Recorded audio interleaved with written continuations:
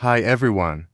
In this new video, I want to show you how to set up a Xiaomi camera, Chinese version in an easy and easy way. Before anything else, I will make it very clear to you that this camera, the one I have is a PTZ-K Chinese version. This is not the global one.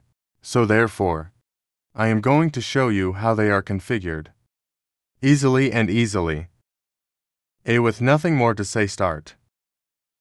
The first thing is that we must connect it to the current. And once there we must wait to start speaking Chinese.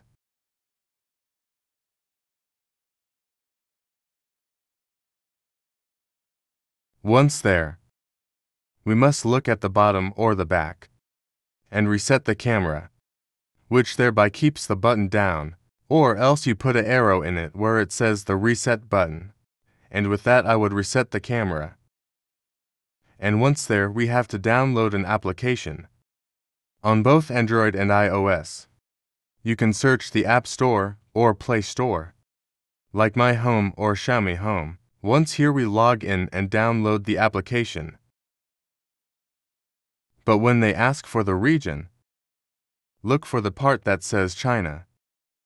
In case it does not appear to you, hit where it says you, and then in additional adjustments, and there the region can change. I do clarify that you must have a Xiaomi account. This is very important. First of all, to be able to use the camera. And well, from there we give you the extra button where it says Add Device. Or else we scan it. All permissions must be activated. We enter the QR code.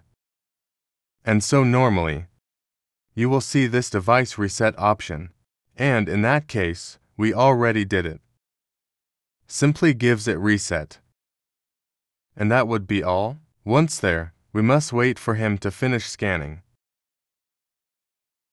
we select the Wi-Fi network to be connected. We set the password. And we give it to continue. A recommendation I give. If possible have the camera and the router as close as possible. And so does the telephone while connecting. So that there are suddenly no connection problems. Or things like that. It may take a little while. And we're back. Once here, you will be successfully connected. We establish the room although that is unfortunate. If you want to do so, and if not, they can omit these steps. You can add a name if you wish to do so. And so the automation. That will appear there.